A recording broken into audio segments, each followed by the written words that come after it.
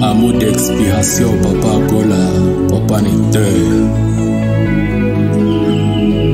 Pourquoi c'est pour moi, ma chérie, n'a de